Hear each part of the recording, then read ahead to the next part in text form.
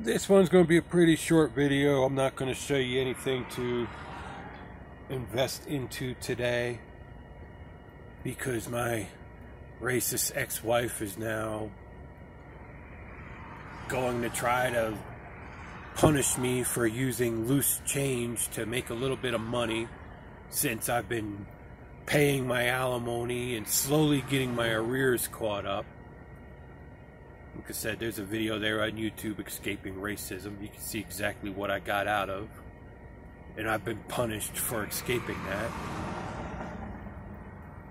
And I'm sure if she goes to the court, you know, the court's going to be upset that I called them out and this and that. But I'm not a rare case in Florida, in case you're wondering. It's it's common for people who escape abusive situations in Florida to be punished if they were the breadwinner. I think the most disgusting case I heard of is a woman who escaped with her life and her two children and now has to pay her ex husband $5,000 a month for the rest of her life. And she's not a rich woman. She has a little doctor's practice. She's a chiropractor, I think, even. She's not even like a big surgeon or something. She's just a little, little medical business. Is so she like me has to live in fear but where i only have to do it for a couple more years she has to live in fear for the rest of her life that if she gets sick or if anything happens to her she's going to be thrown in jail and she doesn't know what will happen with her kids and it's just horrible. And if you're the breadwinner in florida you just get screwed with alimony. I mean this man with that woman the guy literally made multiple threats against her life and her children's life. And she has it, like me, has all the documentation, and none of that matters. She can afford to pay him four, five thousand dollars a month. Of course, she can't afford to have a decent life anymore, paying him five thousand dollars a month. She can't marry anybody because if she marries anybody, that will be added into her income, and then the douchebag that was abusing her can have her alimony raised, which will put her in a worse position, and then it will punish her new husband. Same with me. I can't marry anybody because if they happen to be somebody making money, then they get punished.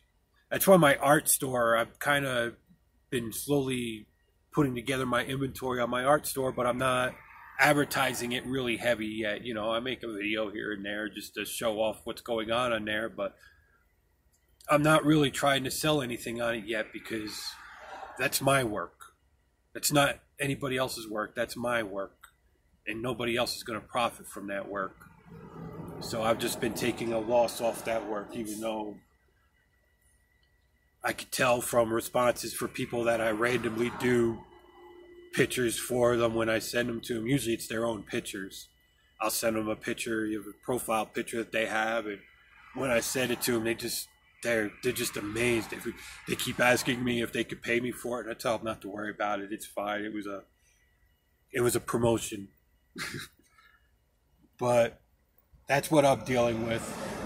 And so now she wants to go after my stock portfolio because I've managed to build up a stock portfolio using loose change.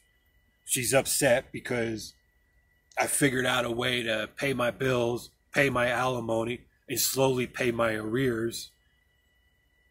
And because I'm doing that, she's afraid that, you know, I'm going to wind up somehow getting my arrears paid off and then be able to start paying ahead on my alimony before she can keep me in this role in prison. So it's just ridiculous the way I'm being punished for escaping that and the way she gets to mock the system and make these judges look like, like complete idiots.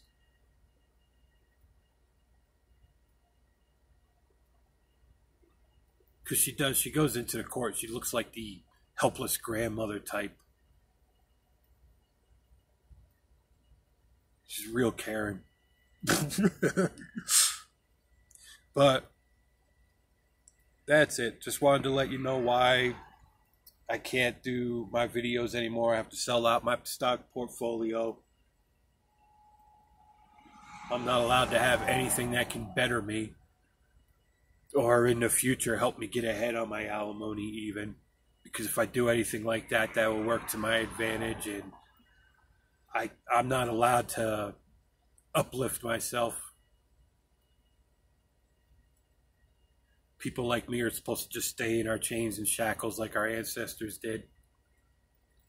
And she has me in chains and shackles, and that's where I belong.